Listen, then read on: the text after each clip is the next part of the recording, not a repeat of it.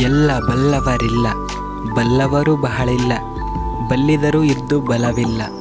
ಸಾಹಿತ್ಯವೆಲ್ಲರಿಗೇ ಇಲ್ಲ ಸರ್ವಜ್ಞ. ಈ ವಚನದ ಅರ್ಥ ಈ ಜಗದಲ್ಲಿ ಎಲ್ಲ ವಿದ್ಯೆಗಳನ್ನು ಅರಿತವರಾರೂ ಇಲ್ಲ. ಇದ್ದರೂ ಅವರು ಬಹು ಅಲ್ಪ ಜನರು. ಅವರು ಸಹ ಬಲಹೀನರಾಗಿದ್ದಾರೆ.